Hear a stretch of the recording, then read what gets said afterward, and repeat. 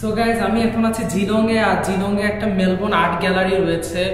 মেলবোর্নে যা মানে অস্ট্রেলিয়ার বেস্ট বেস্ট যেসব আর্টগুলো আছে, এখানে সবগুলোর এক্সিবিশন করা হয়। প্লাস আরও অনেক পুরাতন জুয়েলারি দেন আসবাবপত্র, অনেক কিছুই রয়েছে এখানে। অনেকটা আর্ট মিউজিয়ামের মতো। তো এখানে আজকে আমি এসেছি, আর আপনাদের সাথেও কি কি দেখি সব কিছুই শেয়ার করব।